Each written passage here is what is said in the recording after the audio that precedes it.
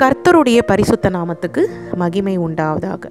இன்றைக்கான வசனம் இரண்டு குருந்தியர் நான்காம் அதிகாரம் அதில் இருக்கிற பதினேழாம் வசனத்தை வாசிப்போம்.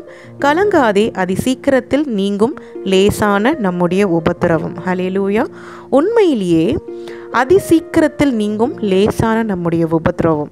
நீங்கள் நினைக்கல இந்த வசனத்தை வாசிக்கும் பொழுது லேசான நம்முடைய உபத்திரவம்னு வசனம் இருக்குது நம்ம அன்றாடம் நம்ம எவ்வளோ கஷ்டத்தில் இருக்கிறோம் எவ்வளோ பிரச்சனைகள் மத்தியில் மாட்டிக்கொண்டு இருக்கிறோம் நம்ம எவ்வளோ லோனை போட்டு வீடு கட்டிட்டோம் நம்ம எப்படி இஎம்ஐ கட்ட போகிறோம் இந்த கார் வாங்கிட்டோம் எப்படி இஎம்ஐ கட்ட போகிறோம் அப்புறம் மாத்திரை மருந்துக்கு இவ்வளோ செலவாகுது நம்ம எப்படி இதெல்லாம் சமாளிக்க போகிறோம் நமக்கு இப்படி திருமண தடை இருக்குது அப்புறம் குழந்தை குழந்தையை பெற்றுக்கொள்கிற தடை இருக்குது கருத்தரிக்க முடியல. அப்படின்னு சொல்லி ஏராளமான குழப்பங்களோடு ஜீவித்து கொண்டு இருக்கிற உங்களை பார்த்து ஆண்டவர் என்ன சொல்கிறார்?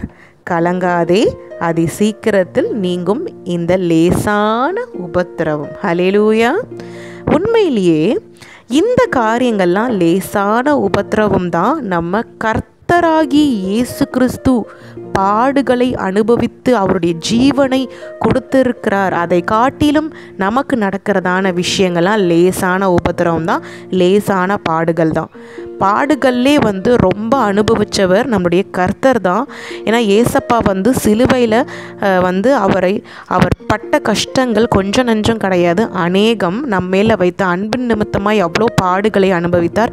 அதை கம்பேர் பண்ணும்பொழுது நம்ம அனுபவிக்கிறதான பாடுகள் வந்து உண்மையிலே லேசான உபத்திரவம் தான். அது நிரந்தரமான உபத்திரவம் கிடையாது. அது கடந்து போகுங்க. ஹலேலூயா அப்போது உண்மையிலின்ற தினத்தில் ஆண்டவர் உங்களை உங்களுடைய கண்ணீரை துடைக்க நம்மளால் முடியுங்க. நம்ம செய்ய வேண்டியது ஒரு ஜபமே ஜெயம் நம்ம சொல்கிறோம் ஜெபம் செய்கிறதுக்கு நம்ம வந்து நம்ம யோசிக்கிறோம். அதை குறித்து அதை பண்ணாமல் நம்ம வந்து புலம்பிட்டே இருக்கோம். இந்த மாதிரியான காரியங்கள்லாம் இன்வால்வ்டாக இருக்கும். நம்ம ஜபம் பண்ணாமல் நம்ம வந்து அதை குறித்தே நம்ம ஃபீல் பண்ணும் பொழுது என்னாகும்னா பிரச்சனை தான் அதிகரிக்குது. நம்மளுக்கு டிப்ரெஷன் ஆகுது. நமக்கு வந்து ப்ரெஷர் இன்க்ரீஸ் ஆகுது. சுகர் லெவல்ஸ் இன்க்ரீஸ் ஆகுது.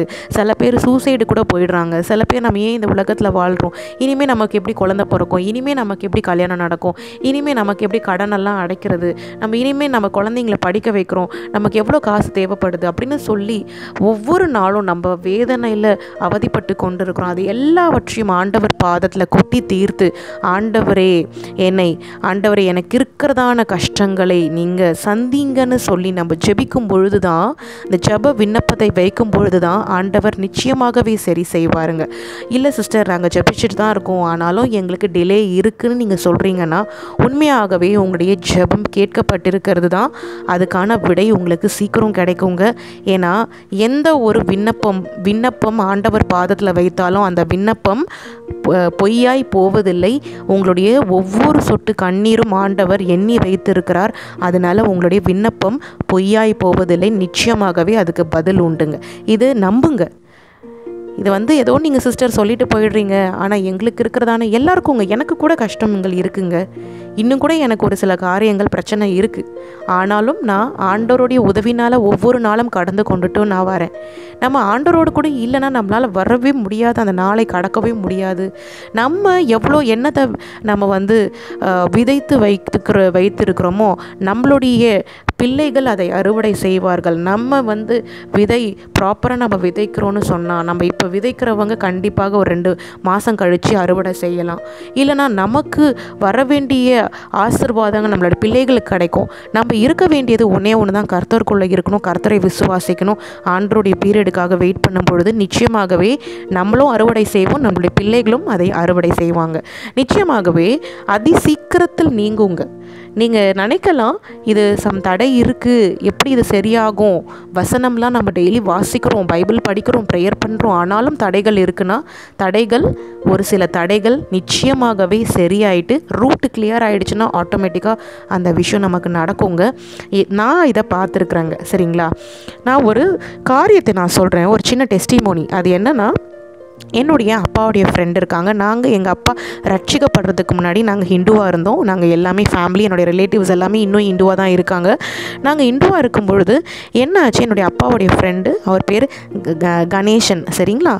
அவர் வந்து என்ன ஆகிட்டாரு ரொம்ப வந்து ந- நிறைய கடன் ஆயிடுச்சு. கடன் ஆகிட்டு குடிக்க ஆரம்பிச்சிட்டாருங்க. குடிக்க ஆரம்பித்து எங்கள் அப்பா பார்க்கும்பொழுது அவர் குடி ரொம்ப குடிக்க ஆரம்பிச்சிட்டாரு. அந்த மாதிரி தான் தெரியும். திடீர்னு ஒரு நாள் என்ன ஆயிடுச்சு? எங்கள் அப்பாவை அவர் மீட் பண்ணும்பொழுது இந்த மாதிரிப்பா நான் இப்போ நல்லா ஆயிட்டேன். நான் குடிக்கிறதெல்லாம் கிடையாது. நான் நல்லா நார்மல் ஆகிட்டேன் என்னுடைய கடன் பிரச்சனை எல்லாம் சரியாயிடுச்சு அப்படின்னு சொல்லியிருக்கிறாரு. என்னப்பா என்னப்பா ஆச்சு? நல்லா ஒரு மாதிரி இருந்தியே இப்போ எப்படி ஒரு மாற்றம் வந்திருக்கு? பரவாயில்ல நீ இந்த மாதிரி மாறிட்டேன்னு அப்படின்னு எங்கள் அப்பா அவர்கிட்ட கேட்கும் பொழுது நான் இந்த மாதிரி ஏசப்பாவை ஏற்றுக்கொண்டேன். நான் சர்ச்சுக்கு போக ஆரம்பிச்சிட்டேன். நான் வந்து என்னுடைய கடன் பிரச்சனையெல்லாம் தீர்ந்துருக்கு. அதே போல் நான் வந்து ரட்சிப்புக்குள்ளே வந்துட்டேன். ஏசப்பாவை ஏற்றுக்கொண்டேன்னு சொல்லி சொல்லியிருக்கிறாரு.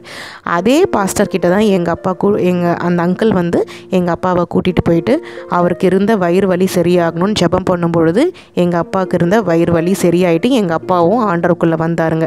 இப்படி தான் நாங்கள் வந்து எங்கள் அப்பா ஆண்டருக்குள்ளே வந்ததுக்கப்புறம் நாங்கள் எல்லாரும் ரட்சிப்புக்குள்ளே வந்து அதுக்கப்புறம் நாங்கள் ஞானஸ்தானம் எடுத்தோம். இது தாங்க எங்களுடைய ஸ்டோரிங்க. ஹலிலூயா பாருங்க எப்படியாப்பட்ட கடன் பிரச்சனையில் அவர் மாட்டிக்கொண்டு இருந்த ஒரு குடிக்கு அடிமை ஆயிட்டாரு ஆனாலும் ஆண்டவர் அந்த கடன் பிரச்சனையிலேருந்து விடுவித்து ஆண்டவர் அவரை அந்த குடிப்பழக்கத்திலிருந்து மாற்றி ரட்சிப்புக்குள்ளே வர வைத்து அவர் கர்த்தரோடு கூட இந்த நாள் வரைக்கும் ஜீவித்து கொண்டு இருக்கிறார். ஹலிலூயா இது உண்மையிலே எல்லாருடைய வாழ்க்கையிலும் நிறைய பேர் கேட்டிங்கன்னா இந்த மாதிரியான சாட்சிகள்லாம் சொல்லுவாங்க. எப்படியாப்பட்ட பிரச்சனையாக இருந்தாலும் சில பேர் கடன் ரொம்ப அதிகமாகிடுச்சுன்னு சூசைட் பண்ணிக்கலாம் கூட போயிருக்காங்க. ஆனாலும் அவங்களெல்லாம் கூட தடுத்து நிறுத்த ஆண்டவர் வாழ வைத்திருக்கிறார் சாட்சியாக நிறுத்தியிருக்கிறார். இது உண்மையிலே நம்மளுடைய வாழ்க்கையிலும் நடக்கும். நம்ம ஆண்டவரை தேடும் பொழுது முழு இருதயத்தோடு ஆண்டவரை விசுவாசிக்கும் பொழுது ஆண்டவருடைய செய்கைகளுக்காக நம்ம காத்து கொண்டிருக்கும் போது நிச்சயமாகவே நமக்கு பலத்தை கொடுப்பார். நமக்கு விசுவாசத்தை அதிகரிப்பார். நம்மளுடைய நமக்கு சகாயம் செய்ய அவர் வல்லவராக இருக்கிறார். நமக்கு இருக்கிறதான பிரச்சனைகளை தீர்த்து வைப்பாருங்க. இது உண்மையிலே நடக்குதுங்க. ஒரு சில பேர் ஃபஸ்ட்டு ஆதி காலத்தில் எனக்கு கமெண்ட்ஸ் கொடுப்பாங்க. என்னமோ ஆண்டவர் சரி செய்வார் சரி செய்வார்னு சொல்கிறீங்களே சிஸ்டர்னு கமெண்ட்லாம் போடுவாங்க. உண்மையிலே தாங்க நம்ம பொய் சொல்ல போகிறது கிடையாது. எனக்கு இருக்கிற பிரச்சனைகள் அன்றாடம் இருக்கிற பிரச்சனைகள் ஆண்டவர் சரி செய்துட்டு தான் வராரு. உங்களுக்கும் அதே போல் சரி செய்துட்டு தான் வராருங்க. இது வந்து எந்த விதமான டவுட்டும் கிடையாது. நம்ம பொய் சொல்ல போகிறது கிடையாது. நிச்சயமாகவே ஆண்டவர் செய்யலைன்னு சொன்னால் தான் நம்ம பொய் சொல்கிறேன்னு அர்த்தம். ஆண்டவர் செய்கிறாருன்னு சொன்னால் தான் நம்ம உண்மையே சொல்கிறோங்க சரிங்களா? ஏன்னா அதுதான் நடந்துட்டுருக்கு ஒவ்வொருத்தருடைய வாழ்க்கையிலையும் ஒரு நாள் நம்மளை மறந்துட்டாலும் நம்ம வேறு மாதிரி ஆயிடுவோங்க. அதை நினைவில் வைத்து கொள்ளுங்கள் இந்த வசனுடைய வாழ்க்கையில் நிறைவேறணும்னு நான் ஜெபிச்சு ஜெபிச்சுக்கிறேன். கலங்காதே அதி சீக்கிரத்தில் நீங்கும் லேசான நம்முடைய உபத்திரவம். உண்மையிலே ஆண்டவரை விசுவாசிக்கும் பொழுது அதி சீக்கிரத்தில் உங்களுடைய எல்லா உபத்திரங்களும் மறைந்து போகும்படியான காரியம் நடக்குங்க. கர்த்தருக்குள்ளே இருங்க. அவரை விட்டுட்டு போயிடாதீங்க. கர்த்தரோடு கூட இருக்கும் பொழுது நம்மளால் சாதிக்க முடியுங்க. கர்த்தருக்கு கோடா கோடி நன்றி. எனக்கு இந்த வாய்ப்பை கொடுத்ததுக்காக நான் ஆண்டவருக்கு நன்றி செலுத்துகிறேன். ஆண்டவர் உங்களுடைய வாழ்க்கையில் நிச்சயமாகவே பெரிய காரியங்களை செய்வார். அடுத்து வேறு ஒரு காரியத்தை குறித்து பேசுகிறேங்க நன்றிங்க. பாய்ங்க. ஹலிலூயா நன்றி நன்றி நன்றி நன்றி நன்றி நன்றி நன்றி.